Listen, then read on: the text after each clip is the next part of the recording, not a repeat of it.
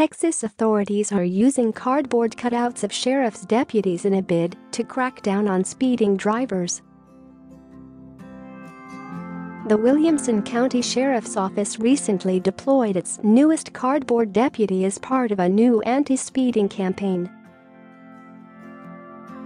The cutout was made to resemble a real department employee, Deputy Wolf, pointing a radar gun. Scroll down for video. A number of the cutouts were put up in various areas north of Austin that are problematic for speeding.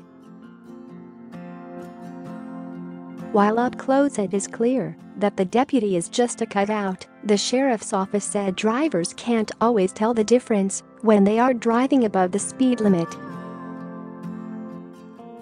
They said a driver's first instinct will be to brake when they see the so-called deputy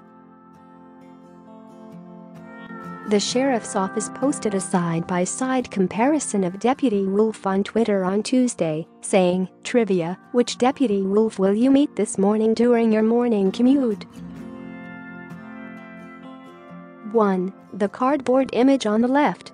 2. The real deputy on the right. Both will be out this morning. The real deal writes citations for speeding, especially in school zones. Number no speeding,